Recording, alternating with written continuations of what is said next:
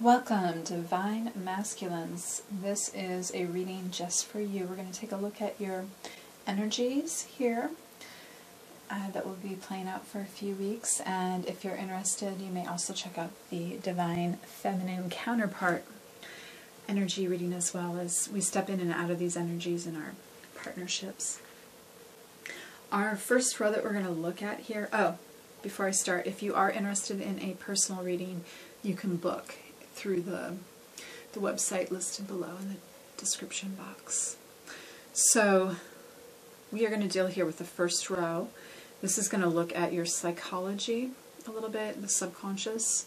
We're going to take a look at some higher energies that you can access, how these two realms can be integrated here, and then your crowning card will really look at the unification that can take place between you and the feminine energy during this time. Excuse me. So your first card is really highlighting the type of programming that comes through your deep ancestral roots, like what gets through your DNA. And what I'm getting here is this um, this very strong uh, female energy. Actually, you may be used to being around a, a strong female leader in your environment, perhaps your mother,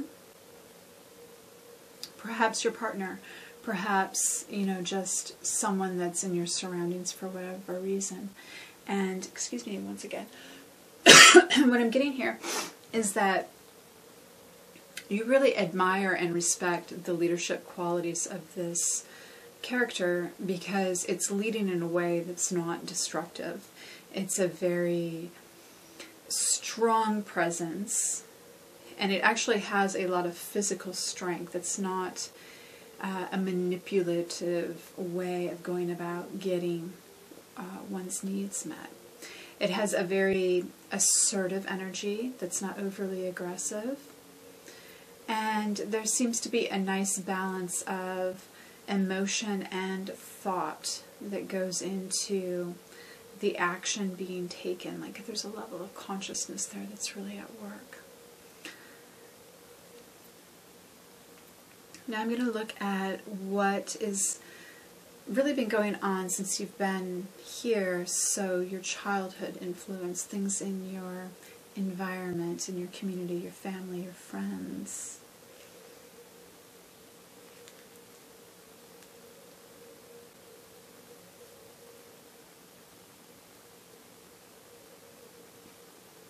What I'm getting out of this is there's been like a real tension to have a lot of things, a lot of material wealth, a display of wealth, and then realizing that those things um, cannot always maintain their states, so they need a lot of maintenance. And this sort of uh, struggle of having to put energy into things to keep them in these glorious states of being, yet it just sort of dulls the whole situation because instead of letting new things emerge and letting the world just kind of recreate itself, you're just maintaining what already was and never getting it back to its original state of glory. So it just feels like a little bit of lackluster energy here and a little weariness as far as you know, like you're, you're being drained of energy. So you may be finding yourself participating in things like this.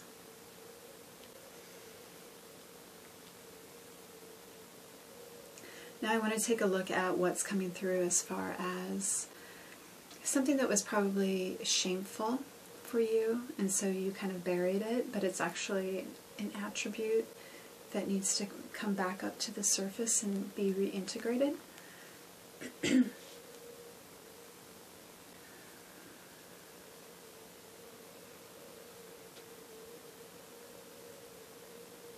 and what Getting off of this is really seeing things in a more complex way, you know, enjoying something for its strength and its beauty. Very much this type of energy here, the same type of respect that I'm seeing come, coming through, but also knowing that things can be accompanied by something kind of prickly because they have to have a, a way of protection. And you honoring that, like things can't, for this energy to be healthy, it can't come in as weak and feeble. It needs to be protected. And you need to be okay with that. You can't see its protection as a threat to you alone. You can't take it personally. And yet, you have to understand that you are. You have to understand, like, kind of like your own instincts, your own desires in relation to this. That, you know, you're not going to give up on this, that there needs to be this level of acceptance and adoration for this that's very realistic, but doesn't dampen your desire for it. And it it may make you seem a little less um, strong yourself. It may show a little bit more of your vulnerability, but the trade-off for you is that maybe you don't have to do all the work as far as keeping everything um, maintained. You don't have to do all of the protection and all of the maintenance of all that. That this is actually an energy that that needs to share in this reality with you in a way where it brings a ton of strength too. Now I'm going to look at what could be an emotional aspect of your existence right now that's been repressed.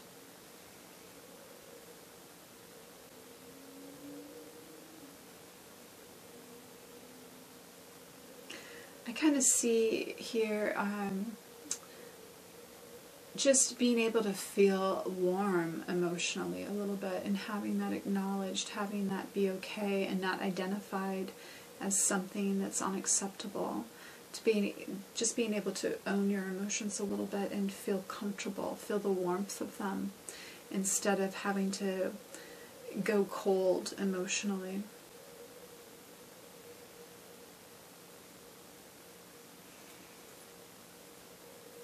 Okay, let's see here at any higher energies that want to come through.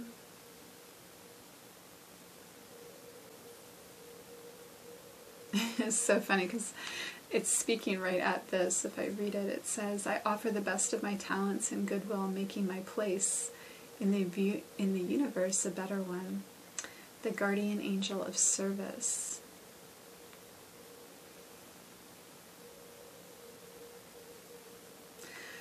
Though what I get is that in order to do this, like you have to be at peace with this. Like that, that's very important. Like uh, you have to have a peaceful heart and you have to have the energy to want to do the service.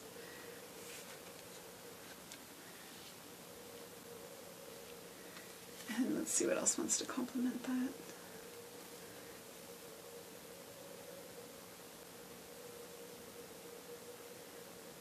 Wow, this is an intense card. Um, so this feels very busy, and again, I think it lines up with service and busyness and and just doing so much here.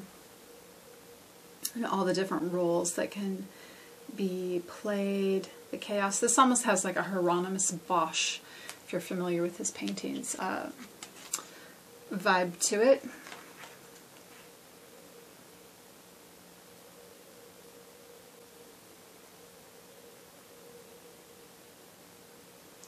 Yeah, so I mean, again, I'm getting this sort of chaos, um, wanting to do good, and there just being disorder, uh, disharmony, um, a lack of peace, and really just this all overness that's going on here.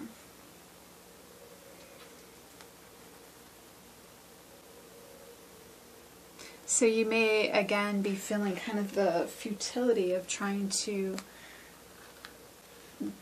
be to be the presence of peace in a world that is so chaotic. So let's look here at what's what might want to come through here for the integrating some of this. And in the vibes, you get the Buddha. I mean, this is like the strongest energy of, of peace here.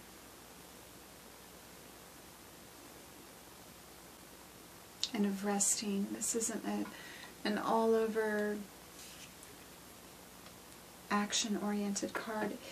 This is a card that's saying that, you know, when you attune to the frequency that you want to hold, you become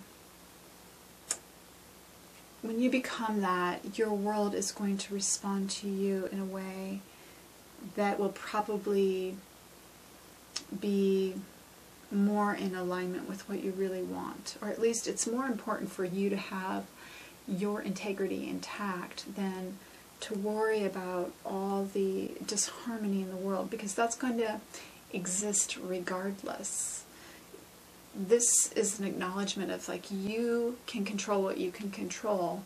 So go ahead and worry about what you have within you that you can master. And don't worry about things that are out of your control, as there are natural cycles going on here that don't necessarily need to be fixed.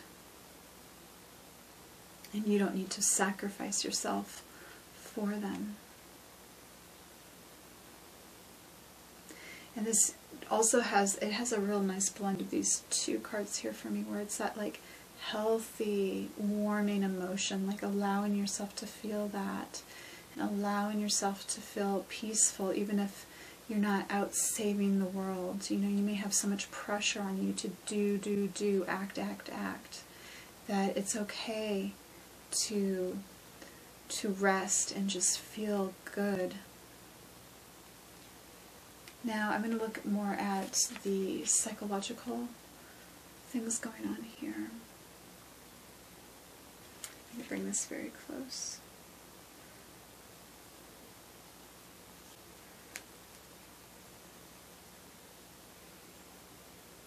There's something very sexy and erotic going on here, so you may actually be finding your mind in that kind of space, really feeling um, when you rest, when you allow yourself to just sort of be, that you do have access to a, a, a pleasure and of allowing for um,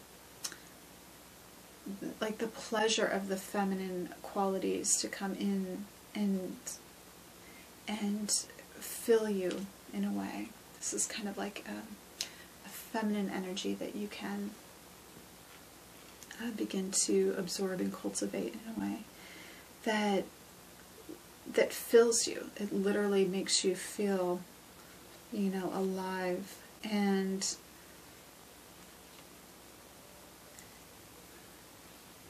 and like you you can't get that in another way. So I encourage you. I, I what I'm getting through that is like if you feel like you're overly busy, you're taking care of all these worldly duties and all this stuff that's really outside of your spiritual health and maybe your own, um, you know, inner kind of sanctuary, your own peaceful existence, your relationships, your intimate relationships especially, that it's okay to make space for those, that those are very, very necessary. And if you don't have that as part of your life, you're going to get completely depleted. And that your counter energy actually has a lot to contribute. Like you don't have to do all the work. There is this really powerful um, cohort energy that you should be in alliance with and working with. And when it comes together well, then these energies are there to balance one another out and not deplete one another. So let's look now at your action.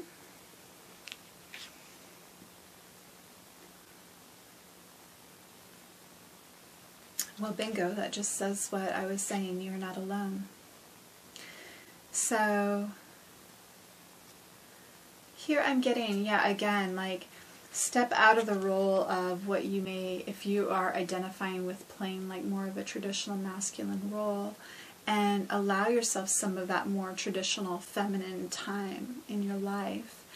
and maybe look to feminine energies to kind of see what they're doing there because the masculine energy may be a little bit distorted and overly structured and devoted to being something that it doesn't necessarily have to be and performing things that it doesn't have to be.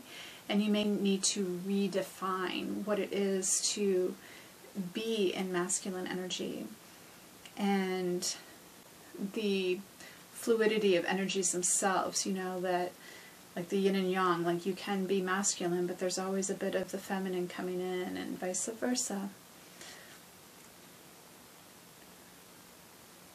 and very much so like having to stay connected in this way because it keeps you energized and it also makes you feel like you're not just stuck in a reality that's that really is so enclosed that it doesn't have any you know future to it any hope to it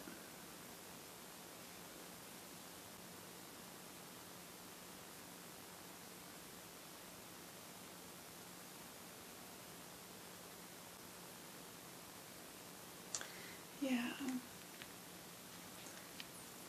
So in a way, the action is more about non-action. It's more about just being and acknowledging um, yourself a little bit. Which in the divine feminine reading, you're getting that type of energy in your crowning or their crowning card. It's just kind of coming together and letting things be. So let's take a look at your crowner.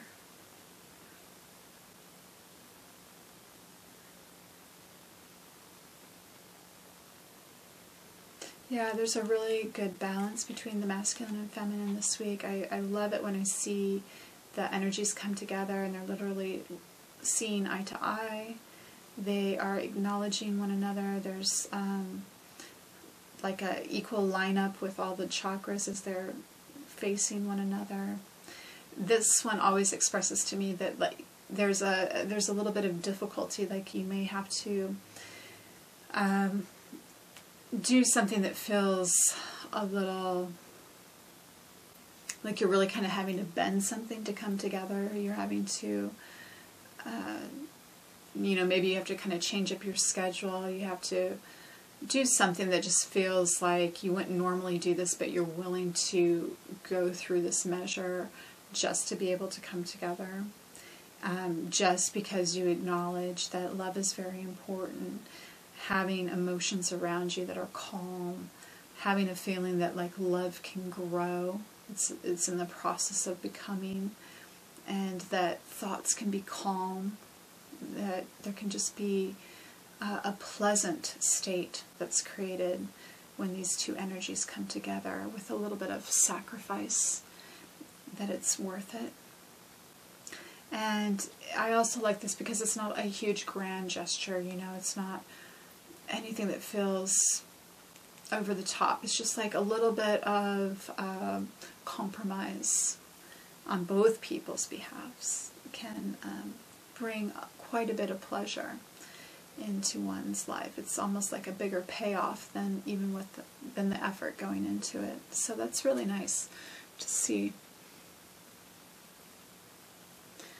So, my dear masculine energies, I hope that this was helpful for you. And I have seven playlists I keep um, going on YouTube with different themes going on. So, feel free to engage with any of those. I love having you along. Please take excellent care and join me again if you can.